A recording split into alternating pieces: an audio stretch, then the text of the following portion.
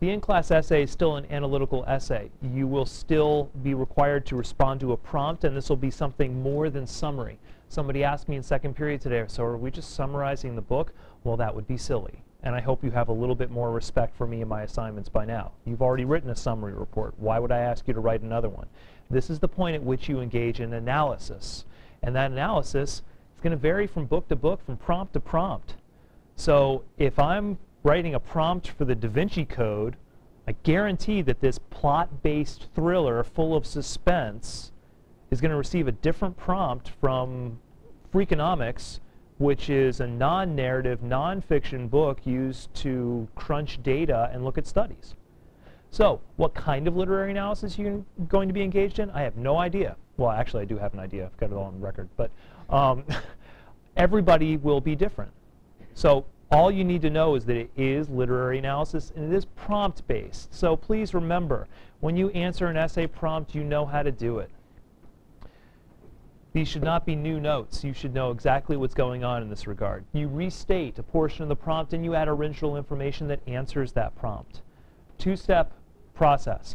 This may result, this may result in a standard four-part literary analysis claim.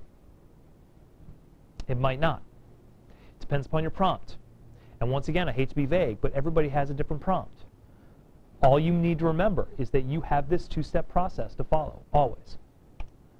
So let me give you an example of a prompt. Um, this is the model example that you will find on the website.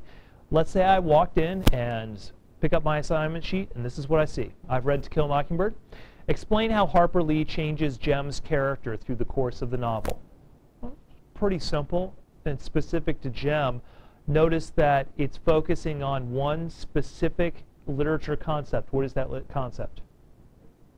Yeah, which type of characterization specifically? What do we call it?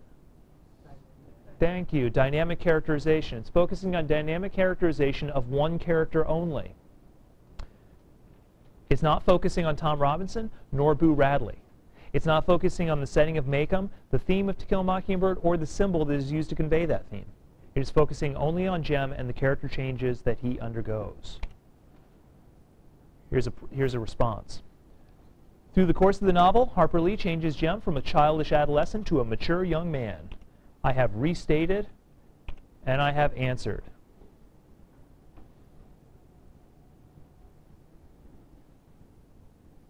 This process, moving from this prompt to this answer, when you walk in on Thursday, if you know your book, should take you about one to two minutes.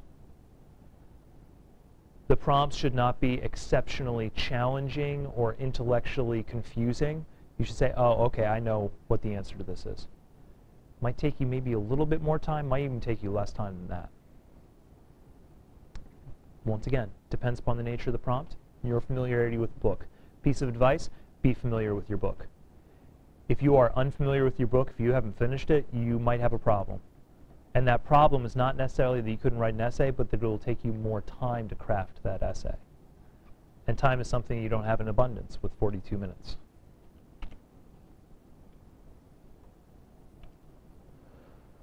If you have a copy of the essay model, then you can grab it and you might want to take notes on it. If not, then uh, just go ahead and take notes as you would take notes normally. But I'm going to look at the model example for the essay that, uh, that I'm starting with that prompt in that claim.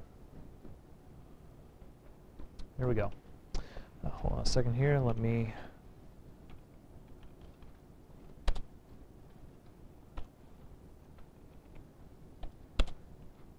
There we go. It's a little bit better.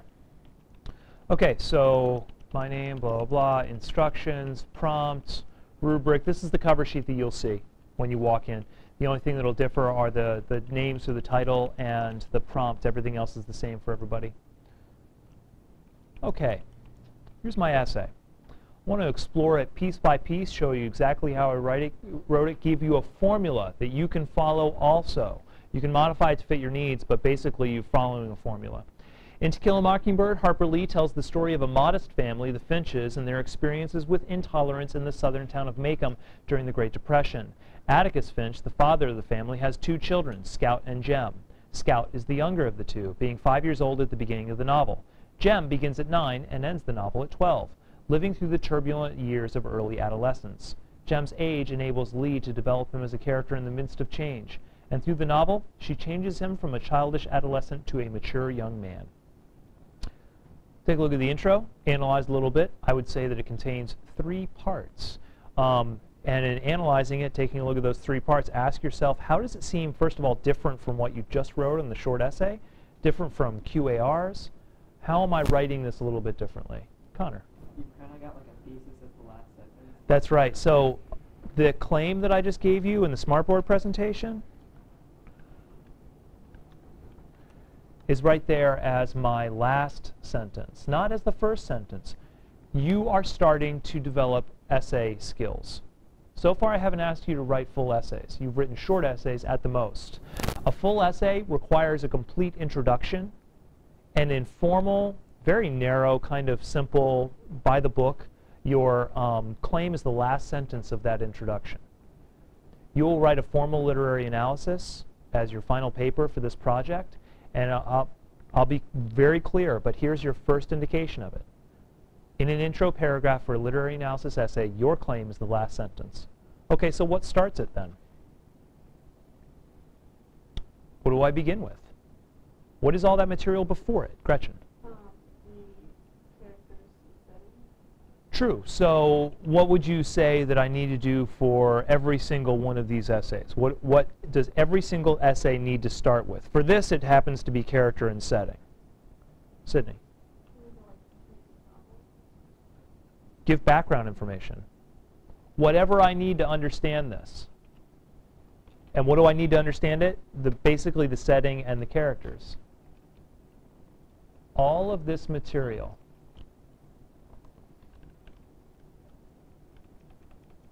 all of that material, by the way, I would color code this, but for some reason when I record this and I use color coding on Microsoft Word, it totally blackens the words on the recording. Then I post it on YouTube and then you can't see anything. So, sorry, I'm going to underline. Um, this is all, all this material is background. What background do I give? I'm thinking of To Kill a Mockingbird. I don't see Boo Radley in there. I don't see Tom Robinson in there. I don't see Mrs. DuBose or Tim- Tim Johnson in there. What made my decision on what background and what information to include?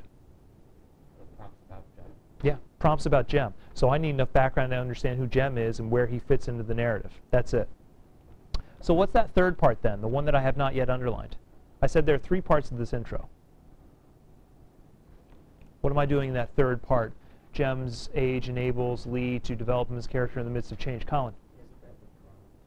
Uh, it's, it's really close to the prompt, yeah, so there's a little bit of the prompt in there. Something more, but yeah.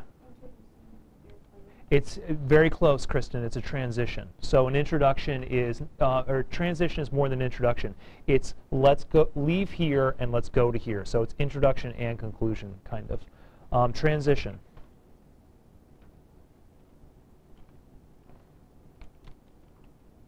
There you go.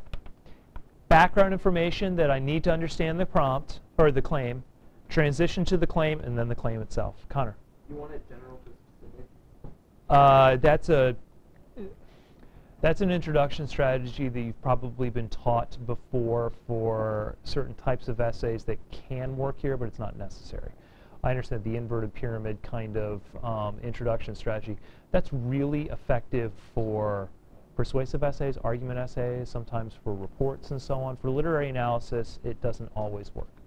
What I do need, Connor, in all cases is enough background information on, on the book to understand the claim. Imagine you have never read To Kill a Mockingbird. Does this give you enough to go on? I would say yes. And then we'll add more detail in the support, but that's general. All right, let's take a look at the first paragraph.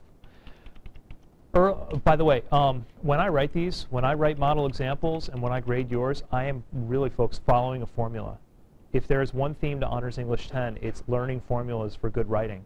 And then eventually later on, in fact, starting next year, if you go to AP, you'll be stretched to improvise and be creative. But this year is all about drilling formula. So use that and you'll be good. Um, early in the novel, Lee describes Jem as a typically immature boy. He plays with Scout in fantasy games where they reenact adventure stories from Tarzan or Tom Swift. He also proposes and accepts dares for risky activity, such as touching the ghostly Radley house. In fact, Jem's interest in the legend of neighbor Boo Radley is filled with superstitions about haints and hot steams, superstitions that clearly mark his mentality as childish. But one of the clearest examples of Jem's immaturity comes with his reaction to the insults of Mrs. Dubose, an elderly woman in the neighborhood. After Mrs. Dubose hurls an onslaught of insults against Jem, he destroys her beautiful camellia bushes. Jem's irrational response to the old woman's insults clearly reveals Lee's strategy in the first part of the novel. She wishes to show the reader that Jem is emotional and hasty, just like a child. What have I done with my first paragraph? Omar. Very good. In other words, I've supported one portion of this claim up here. So I look at my claim. My claim and your claim, they are roadmaps for your paper. One portion of my claim is finished in paragraph 2. Can somebody show me or can somebodies tell me about the points of integration? Where's integration happening in this paragraph? Yeah. Or immature, or variation of it. So let's go through. Help me out. Yeah, Michael. Immature in the first sentence. Immature book. Very good. Point of integration number one. I can find four distinct points of integration in this paragraph throughout. Michael.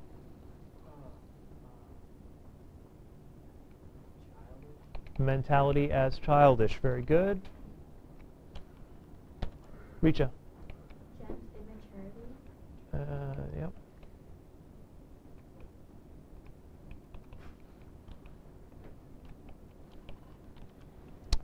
Uh, let's see. Nora. There's child in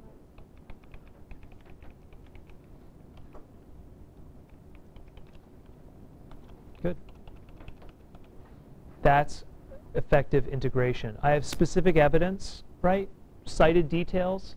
Uh, do I have any quotations? Well, little quotations, but I don't have any big ones. But everything's cited, specific concrete evidence, and then strung throughout points of integration.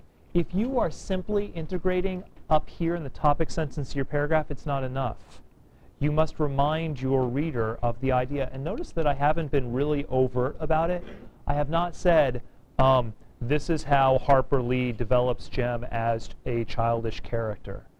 That's clumsy and unnecessary. I just use words like immaturity, childish throughout, child, and then everything is brought, all that evidence is brought together down to the claim. This changes when Jem witnesses the injustice of the Tom Robinson trial. Jem, like most viewers, is able to see through the lie Bob and Mayella Ewell tell against Robinson. He states his belief that Atticus cannot lose the trial against the unfairly accused man. Unfortunately, Atticus loses, and Jem's childish hope is destroyed. As Jem's face was streaked with angry tears, he says, It ain't right, Atticus. Here, Lee is showing the reader how the irrationality of Jem's childish understanding of the world has suffered a fatal blow from the reality of injustice. He will never be the same again. What part of the claim am I supporting in this paragraph? The change. Very good. If you, and this is, by the way, something to remember, if you are ever analyzing dynamic characterization, you need three pieces of information. Piece one is the opening character trait, piece two is the point of change, and piece three is the ending character trait. This person starts off like this, but then this thing happens, and they end up like this. That's dynamic character change. I followed that format because I know how to analyze for character change pretty simply, so I have three paragraphs of support. Starting character trait, point of change, ending character trait. And you folks are correct. This is my point of change. Where are my um, points of integration? Yeah, Kristen. Um, this changes. This changes right there in the opening line. Where else? Yeah, Priyanka. Yeah, he will never be the same again. What else indicates something going away and something else new happening? John. Hope Child's hope is destroyed. Very good.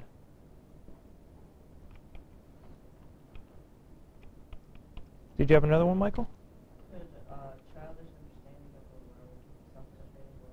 Yeah, the fatal blow is kind of a poetic way of saying that it has been destroyed.